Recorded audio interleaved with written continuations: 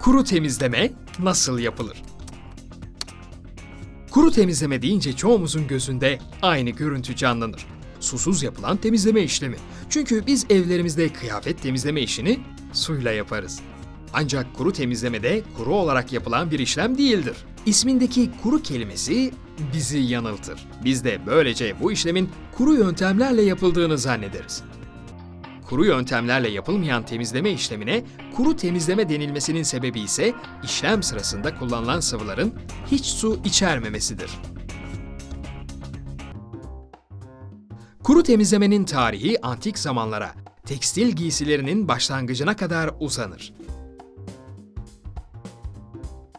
İlk zamanlarında kıyafetler üzerindeki yağı çıkartmak için küllü su, amonyak ve bir çeşit kirli çamur kullanılıyordu. Kuru temizlemenin ortaya çıkışı hakkında farklı görüşler ileri sürülmüştür. Ancak çoğunluk tek bir görüşte birleşmiştir. Buna göre petrol bazlı bir sıvı makine yağlı bir kumaş üzerine dökülmüş ve buharlaşmıştır. Hemen ardındansa kumaştaki yağ lekesinin kaybolduğu gözlenmiştir. Kuru temizlemenin ilk dönemlerinde kullanılan gaz yağı ve benzin gibi sıvılar yanıcı ve son derece tehlikeliydi. Ancak bu işlem yapılırken solventlerin kullanılmaya başlanmasıyla tehlike de ortadan kalkmış oldu.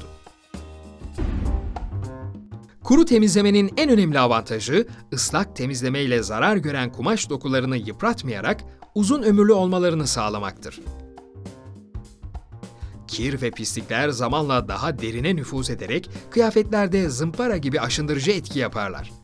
Bir kıyafete sık sık kuru temizleme yapıldığında ise bu kir ve pislikler yüzeyde kalır ve sonrasında kolayca çıkar. Böylece kıyafetlerin yeni alınmış gibi bir görüntüye sahip olması sağlanır.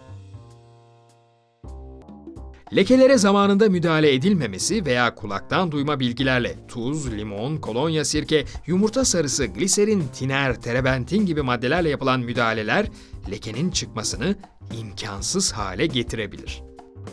Dipnot İlk kuru temizleme mağazası 1840 yılında Jolly Belen tarafından Paris'te açılmıştır.